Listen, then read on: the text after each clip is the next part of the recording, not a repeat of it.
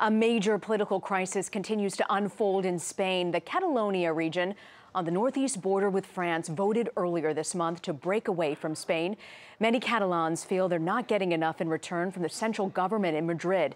Seth Doane is in the regional capital, Barcelona. Following an emergency meeting of Spain's cabinet over the weekend, we have learned that the central government in Madrid is seeking to seize control of top government functions and positions here in Catalonia.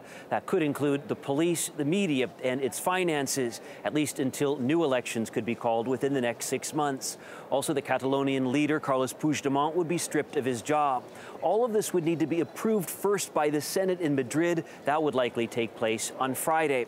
On the other side, those seeking independence have made it clear that they will not be quiet about losing control. Around 450,000 people took to the streets in Barcelona on Saturday in protest. Meanwhile, Puigdemont, who has yet to explicitly declare independence, continues to threaten to do so.